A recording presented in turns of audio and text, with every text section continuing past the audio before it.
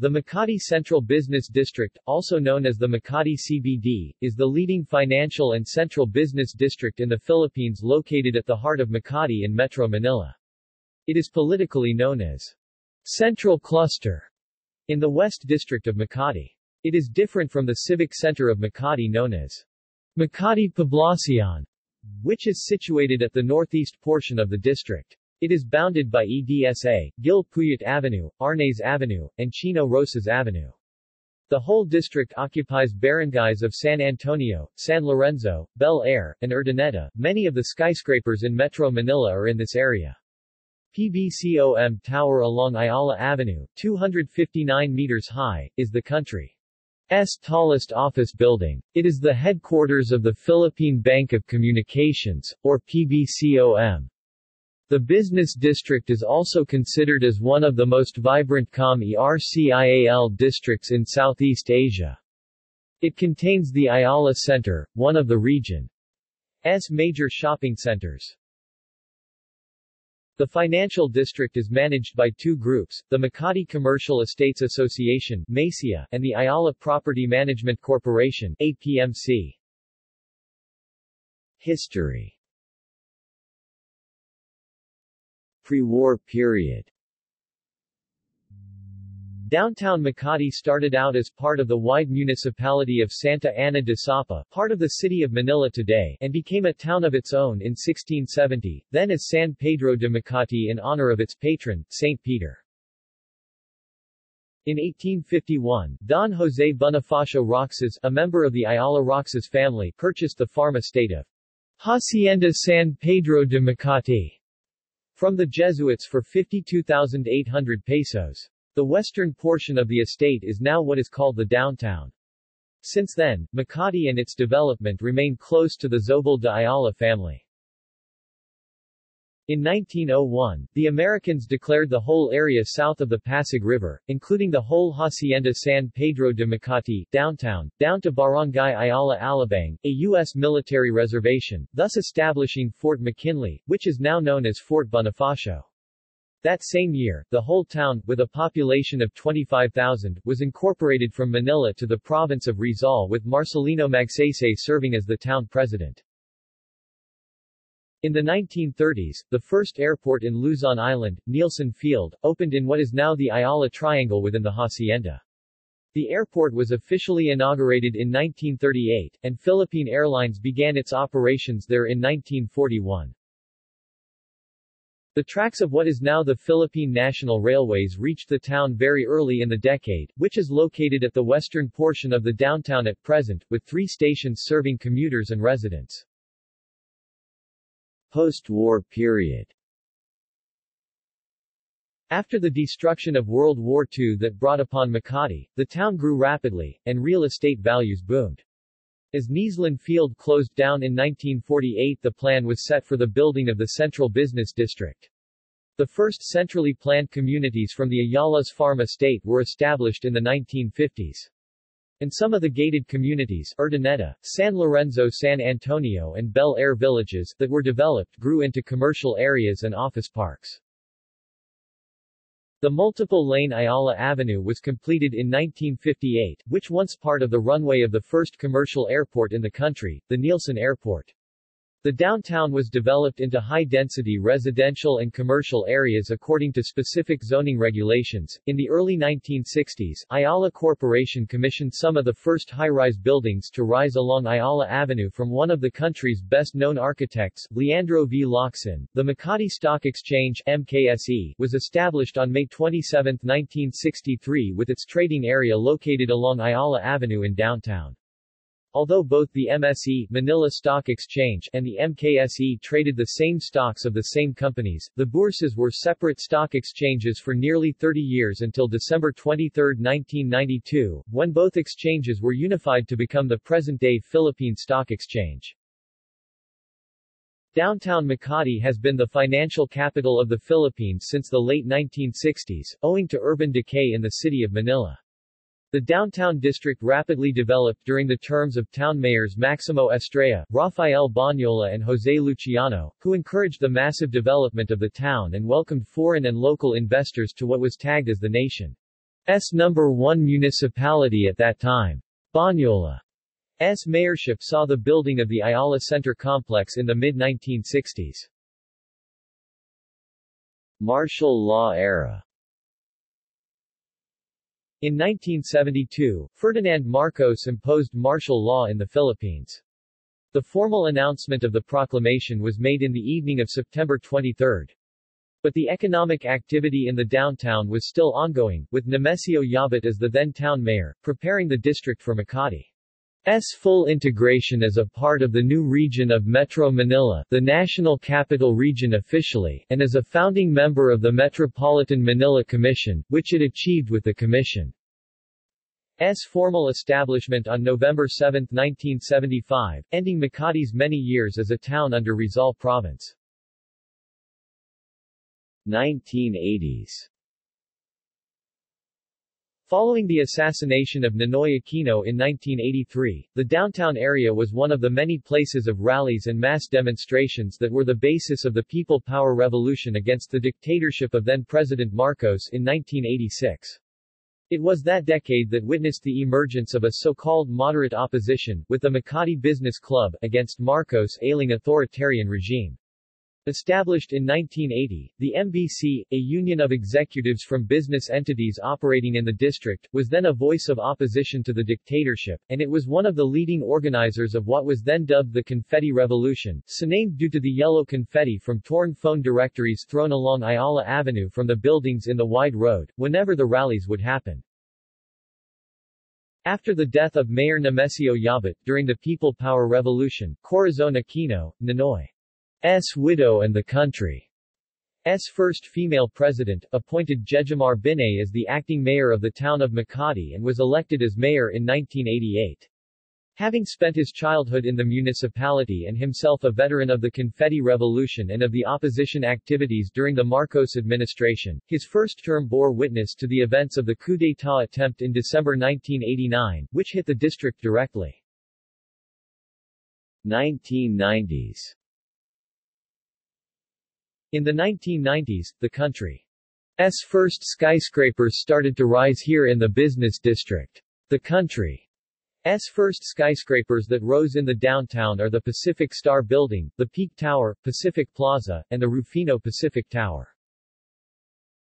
By virtue of Republic Act 7854, passed by Congress in late December 1994 and signed into law by President Fidel V. Ramos on January 2, 1995, became the city of Makati. On February 4, 1995, the character of the new city was ratified in a plebiscite with 91% of voters in favor of cityhood. The whole people of Makati especially the businessmen in downtown celebrated the remarkable event. 21st century In the early 2000s, the downtown was a primary target of political rallies and terrorist attacks. On May 17, 2000 at 5.02 p.m., Glorieta inside Ayala Center was bombed injuring 12 persons, mostly teenagers. According to local authorities, the homemade bomb was placed in front of a toilet beside a video arcade. It was said to be the precursor of the May 21, 2000 SM Megamall bombing and the December 30, 2000 Rizal Day bombings. From August 2000 to January 2001, a wave of protests against the former president Joseph Estrada happened in the district. The anti-Estrada protests in Makati focused on Ayala Avenue, which cuts from EDSA to Buendia, now Gil Puyat Avenue. In 2003, the Oakwood Mutiny took place in the Oakwood Premier, now Ascott Makati, within the Glorieta complex, and on 2007, the Manila Peninsula siege took place at the Peninsula Manila. This happened at the Makati CBD to call for former President Gloria Macapagal Arroyo to step down. The 2007 Glorieta explosion ripped through the Glorieta 2 on October 19, 2007. The death toll in the explosion was 11, while 120 were injured. Although there were conflicting reports as to the cause, it was concluded that the explosion was caused by a faulty liquefied petroleum gas tank located in a Chinese restaurant. In 2011, the Occupy Wall Street movement protesting economic inequality and the power of United States financial institutions, spread from New York City to other parts of the world, including the Philippines. The movement's supporters First action was held on October 14, when protesters marched in Makati City from the Ninoy Aquino Monument on Ayala Avenue to the American Chamber of Commerce. The movement here in the country is called Occupy Philippines which has other protests held in the U.S. Embassy and Rizal Park in Manila after the protest in Makati. On 2014, the Makati Tourism Foundation and Makati city government started a tourism campaign called Make It Happen, Make It Makati, which promotes tourism mainly in the business district. Divisions Barangay Bel Air Barangay Bel Air is an affluent enclave in the heart of Makati Central Business District which was established early in 1950s. It has a total land area of 1.7121 square kilometers. It is the third largest among the posh villages in Makati City.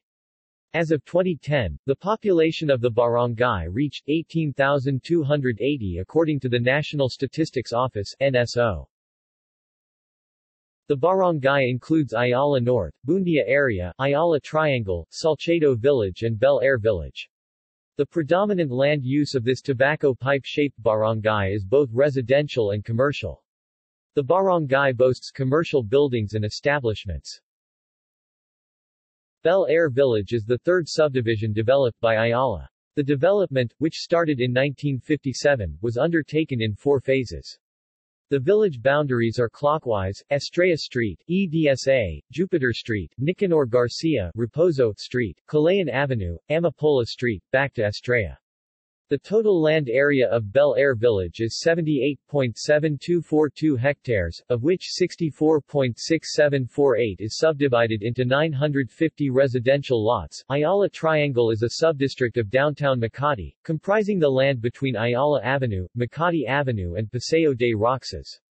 The Ayala Triangle Gardens is Makati's Central Park, which was the only urban oasis in Makati at the heart of the Central Business District, will be developed into mixed commercial and residential space. This triangular block also houses the Makati Stock Exchange, the Ayala Tower 1 and the Filipinas Heritage Library, built on the site of the historic Nielsen Tower. Salcedo Village is a business park developed by Ayala Corporation located in Makati Central Business District. It used to be a residential village. It is named after the de Salcedo brothers, Juan and Felipe, who were both Spanish conquistadors who were part of the Legazpi's expedition. And now it is the home of the country's notable office skyscrapers like the PBCOM Tower and GT International Tower. Ayala North is an informal district bounded by the streets of Gil Puyat Avenue, Ayala Avenue, Ext, Metropolitan Avenue and Nicanor Garcia Street. It is the home of Hospital ng Makati and educational institutions like FU Campus Makati and MIT Campus Makati, which is along Gil Puyat Avenue. Buendia area got its name from the former name of Gil Puyat Avenue. The offices of Department of Trade and Industry is located at 385 Industry and Investments Building along Buendia. SM Cyberzone buildings and other mid-rise commercial buildings is found along Gil Puyat Avenue. Buendia MRT station serves the area. It is one of the two underground stations that can be found on the transit, the other being is the Ayala MRT station, which is also serves the business district. Barangay San Antonio Barangay San Antonio has a land area of 0.8958 square kilometers which occupies 3.3% of the city's total land area. Based on the 2010 census of population released by the National Statistics Office, San Antonio has a percentage share of 2.2% or 11,443 versus the city's population with a density of 13 persons per 1,000 square meters. San Antonio is bounded by Barangay La Paz in the north, Barangays Pio del Pilar and San Lorenzo in the south, Barangays Sta. Cruz and Bel Air in the east, and Barangay Palanan in the west. San Antonio Village is a medium-density residential village in the northern portion of the barangay. Other recognized structures located there include the San Antonio National High School, San Antonio Elementary School, National Shrine of the Sacred Heart, and St. Paul the Apostle Sanctuary. Moreover, the most notable personality residing in the village is Vice President Jejomar C. Binay and his family. San Antonio South is an informal highly density residential and commercial area in the southern portion of the barangay. It is bounded by Metropolitan Avenue, Chino Roces Avenue, Ayala Avenue. Ext, Yacal and De La Rosa streets. It consists of high-rise residential and commercial buildings. Barangay San Lorenzo Barangay San Lorenzo belongs to the 1st Congressional District of Makati and is included under Cluster 1 or Central Cluster. It is considered as one of the richest barangays in the Philippines for embraces part of the Central Business District from where its revenue mainly comes from. It has a total land area of 1.7341 square kilometers with a population of 10,006. The population density of Barangay San Lorenzo is computed to be 6 persons per 1,000 square meters. Established in the 1950s, it is also one of the oldest. Ayala Center is a major commercial development operated by Ayala Land located in the central business district of Makati. It is a premier shopping and cultural district in Metro Manila. The area is bounded by Ayala Avenue on the east, Epifanio de los Santos Avenue EDSA on the south, Arnaiz Avenue on the west, and to north by Legazpi Street and Paseo de Roxas. The Ayala MRT station of the MRT Line 3 serves the area. The development originally started with a number of separate shopping arcades and Greenbelt Park before expanding to cover over 50 hectares. Glorieta and Greenbelt Malls is located within the complex. This lifestyle hub is the Philippines shopping mecca, and is serviced by upscale hotels. Legazpi Village is a business park built by the Ayala Corporation within the Makati downtown area. Originally a residential village in Barangay San Lorenzo.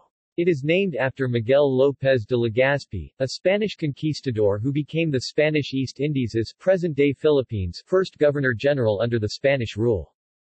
Pasong Tamo area is an informal district located along Chino Roces Avenue outside San Lorenzo Village. Don Bosco Makati, Cityland Pasong Tamo Tower, Waltermart Makati and other warehouses are located in this area. San Lorenzo Village is a residential village located at the south of Legazpi Village and Ayala Center. It is the home of Assumption Makati. Barangay Urdaneta The smallest barangay to complete central cluster is Barangay Urdaneta with a total land area of 0.7399 square kilometers. It is one of the first centrally planned communities together with Forbes Park, San Lorenzo and Bel Air which was established in the 1950s by the Ayala family. Originally, Urdaneta and Bel Air formed part of a single village called Beldaneta. The barangay is bounded by the roads of EDSA, Ayala Avenue, Makati Avenue, and Buendia Avenue. Its bounding barangays are Bel Air, north and west, San Lorenzo, south, and Forbes Park, east. Roxas Triangle is a district and intersection of the major streets of Paseo de Roxas, Makati Avenue and Gil Puyat Avenue. The offices of Development Bank of the Philippines and Metropolitan Bank and Trust Company are located here. Mandarin Oriental Manila and Roxas Triangle Towers are also located in the area. Apartment Ridge is a complex of apartment and condominium buildings along the streets of Makati Avenue and Ayala Avenue outside Urdaneta Village. The Peninsula Manila, Discovery Primea and the Makati Tuscany are located in this area along Ayala Avenue. Urdaneta Village is a quiet and peaceful residential gated community within in its barangay. The name of the barangay came from the subdivision's name. Economy corporate headquarters Most of the famous law firms, construction firms, stock brokerages and other big companies in the Philippines have their main offices here. Palafox Associates, SyCip, Gorres, Velayo & Co., and Gozar Planners are examples of business firms headquartered in the district. Philippine Long Distance Telephone, Bank of the Philippine Islands, Metropolitan Bank and Trust Company and Ayala Corporation, which are companies listed in Forbes Global 2000, headquartered in the downtown area. Many companies listed in the PSE Composite Index headquartered in the district like Alliance Global, Ayala Land, Banco de Oro, GT Capital Group, JG Summit Holdings, Lucio Tan Group, Megaworld Corporation, Metropolitan Bank and Trust Company, Metro Pacific Investments Corporation and Petron Corporation. Universal and commercial banking corporations have their main offices in the area like China Banking Corporation, Development Bank of the Philippines, Philippine Savings Bank, Rizal Commercial Banking Corporation, Security Bank, United Coconut Planters Bank, China Trust Philippines, HSBC Philippines, Maybank Philippines, Philippine Bank of Communications and Philippine Veterans Bank. Makati is the second home of broadsheet newspaper publications in the Philippines, behind Manila. The Inquirer Group, who owns Philippine Daily Inquirer, the second most widely read broadsheet newspaper in the Philippines, has its headquarters in downtown. Business newspaper publications like Business Mirror, have their headquarters in the district. MediaQuest Holdings, one of the largest media conglomerates in the country, is headquartered here. The company owns most of the media establishments such as ABC Development Corporation, TV5, Nation Broadcasting Corporation, NBC, Cignal Digital TV, Cignal, and Businessworld Publishing Corporation, Businessworld. Smart Communications, which is a wholly owned mobile phone and internet service subsidiary of the Philippine Long Distance Telephone Company, is headquartered in the district. The Ayala Automotive Holdings Corporation, a subsidiary of Ayala Corporation is the largest automotive company in the country, which has its main offices in the district. The company owns the regional operations of Honda, Isuzu and Volkswagen in the Philippines, until March 2018, when it moved to Bonifacio Global City in Taguig. The Philippine Stock Exchange headquarters, along with the Makati trading floor, was located in the CBD, and was the successor to the long-running Makati Stock Exchange, which operated from 1963 to 1992. Regional headquarters There are more than a hundred multinational companies, which are companies listed in Forbes Global 2000, have regional headquarters and operations in Makati, most within the CBD, like Procter & Gamble, Intel, Microsoft, Nestle, Syngenta, Shell, Convergys, People Support, Colgate-Palmolive, SC Johnson & Son Inc., Stages Production Specialist Inc., Alaska Milk Corporation, and Accenture. There are many call centers present in the area like Teletech, Convergys, People Support, and Teleperformance. Hewlett-Packard Philippines and an HP Service Center are in Makati City. Asiana Airlines operates a sales office on the sixth floor of the Salcedo Tower in Makati City. Facilities Healthcare The Makati CBD is the location of the Makati Medical Center, a private hospital operated and owned by medical doctors, the largest healthcare company in the country and a subsidiary of Metro Pacific Investments Corporation. The district also contains the Hospital ng Makati, a public hospital operated by the Makati city government. Education There are several libraries in the metropolis or open to the public. The Filipinas Heritage Library is a famous iconic library situated in Ayala Triangle along Makati Avenue. The district is also home of Makati's prestigious schools and colleges. Some top universities of the Philippines is situated in downtown. The following are shopping centers, parks and museums, transportation land. Downtown Makati is the one of the most easily accessed business districts in the Philippines. Public transportation within the city is facilitated mostly using inexpensive jeepneys and buses for commuters working in the district. Most of the buses and jeepneys come from EDSA, the main thoroughfare in Metro Manila. Buses plying the avenue from Parañaque to Caloocan pass through the Central Business Financial District daily. EDSA Car Park Building in Ayala Center is the main public transport terminal inside the district. It is accessible for shoppers going to SM Makati and Glorieta. This can also accommodate the vehicles of passengers riding the MRT. There are also available intercity bus in downtown that plies routes from Ayala Center to Fort Bonifacio via McKinley Road operated only by Bonifacio Transport Corporation. The city will open the new transport hub of Makati called the McKinley Exchange, which is also along EDSA outside downtown. It gives you an efficient and convenient transport experience for both commuters and tourists. People enter and leave the city through this new central transport hub. There are several parking buildings for car-owned people working in downtown. Taxi cabs are also available for people working in downtown. Because it is the leading business district in the metropolis, it sometimes experience traffic congestion. The Metropolitan Manila Development Authority is responsible for traffic regulation in the metropolis. In 1995, they implement road space rationing called Unified Vehicular Volume Reduction Program to reduce the traffic congestion. In Makati, they implement the number coding to all road vehicles from 7 a.m. to 7 p.m.